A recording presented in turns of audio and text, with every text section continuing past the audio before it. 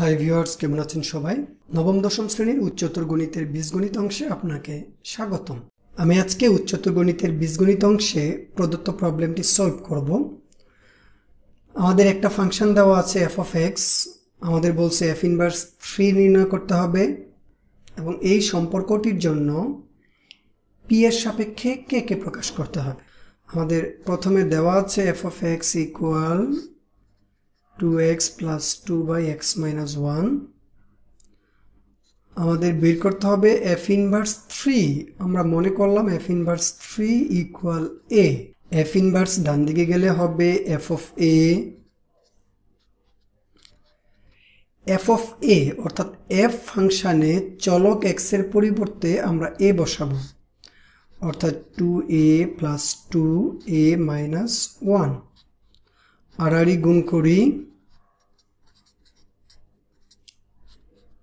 three A minus two A equal three plus two এর মান পেলাম আমরা ফাইভ অর্থাৎ এ হচ্ছে এফ ইনভার্স থ্রির মান ফাইভ এটাই আমাদের নির্ণয় অ্যান্সার এবার আমি খ নং প্রবলেমটি দেখাবো।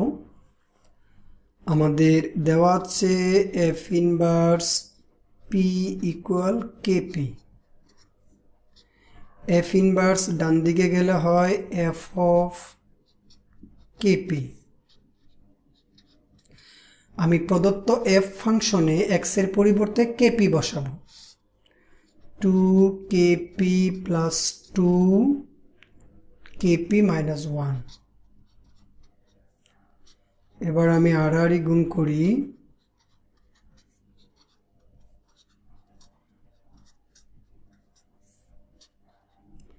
আমাদের বের করতে হবে কে অর্থাৎ কে এর মানটা এমনভাবে বের করতে হবে যেন সেটা পি আকারে থাকে?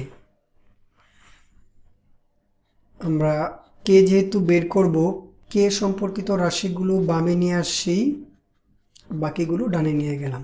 বাম থেকে কেপি কমন নিলে থাকে পি মাইনাস টু ডান দিকে থাকে পি প্লাস টু তাহলে কে আসে আমাদের P plus two by P P minus two অর্থাৎ এটাই হলো পি এর সাপেক্ষে কে কে প্রকাশ।